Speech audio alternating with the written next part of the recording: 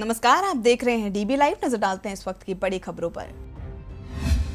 11 साल बाद बाहुबली नेता शहाबुद्दीन जेल से रिहा। जेल से निकलने के बाद कहा, लालू है मेरे नेता, नीतीश कुमार परिस्थितियों के मुख्यमंत्री। कॉमेडियन कपिल शर्मा के घर के बाहर देर रात एमएनएस की नारेबाजी। बीएसपी पर भ्रष्टाचार के आरोपों पर कपिल के ट्वीट का किया विरोध। शूटिंग न करने की दी धमकी।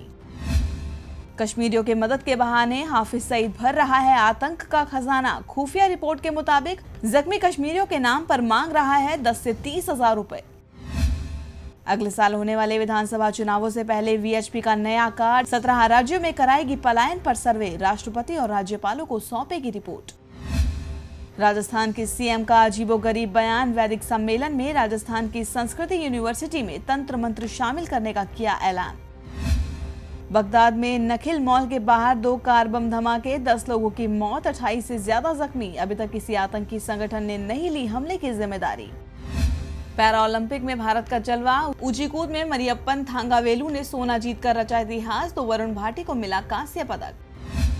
तो ये इस वक्त की बड़ी खबरें, देखते रहिए डीबी लाइव, क्योंकि यहाँ है खबरें लगातार।